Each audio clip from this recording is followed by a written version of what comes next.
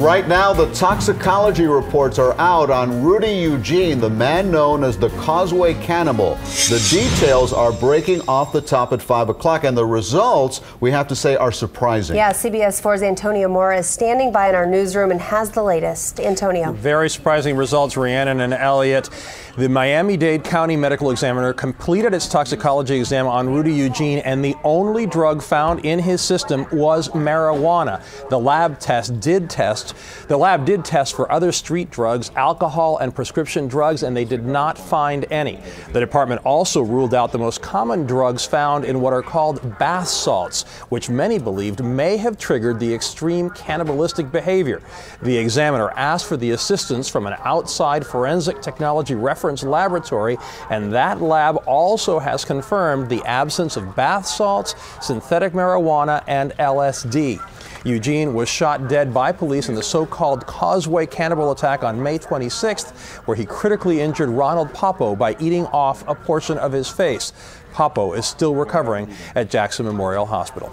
In the newsroom, Antonio Mora, CBS 4 News. Right now at 6, the results are in. We now know what was in the system of the so-called Causeway cannibal.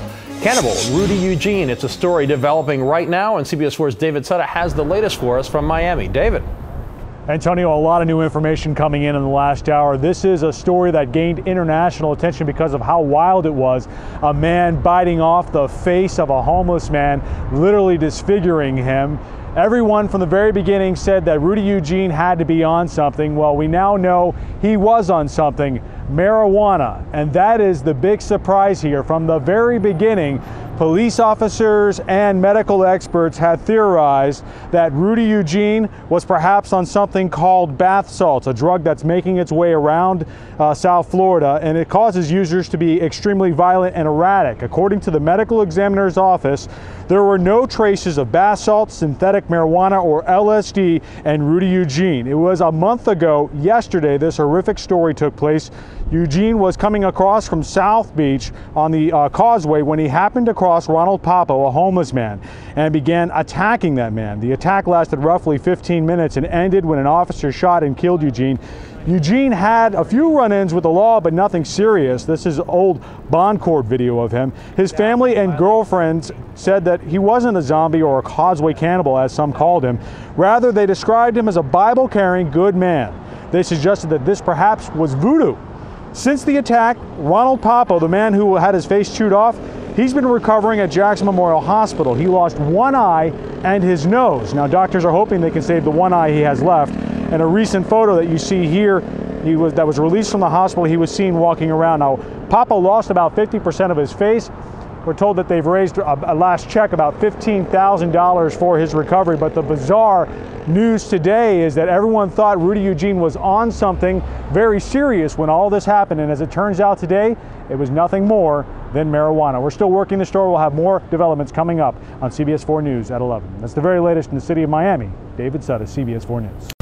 First at 11, what was he on? The toxicology report is now in, showing what drug the Causeway cannibal attacker had in his system.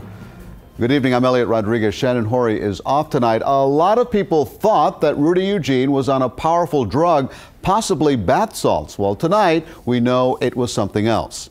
CBS 4's David Sutta reports from Miami. The horrific story of a Miami man dubbed the Causeway Cannibal is taking yet another bizarre turn. Exactly a month ago today, the world learned about Rudy Eugene and the horrific attack he carried out in the heart of Miami. The young man was caught gnawing off the face of a random homeless man. The 15 minute vicious attack wouldn't end until a police officer shot and killed Eugene. We have seen already three or four cases that are exactly like this. From the very beginning, police and medical experts suspected Eugene was on something called bath salts, a trendy street drug that makes users act erratic and extremely violent. A toxicology report released Wednesday showed Eugene was on something marijuana, not a single trace of anything else, including LSD or synthetic marijuana. He adamantly didn't want to even get involved with anything else. Those who knew Rudy suspected he never was on bath salts. In a way, there's a feeling of vindication and a lot of questions. Maybe he was just too hot. His girlfriend told us off camera Rudy Eugene is no zombie or cannibal. These results in her mind further proves voodoo led to his demise. And poor Ronald Poppo, the man who had his face chewed off to lose one eye and his nose. These latest developments give little insight to what exactly happened on the causeway and why Ronald Poppo ended up here in the hospital with 50% of his face missing. As he recovers, some $15,000 has been raised to help him get back on his feet. From Miami, David Sutta, CBS 4 News.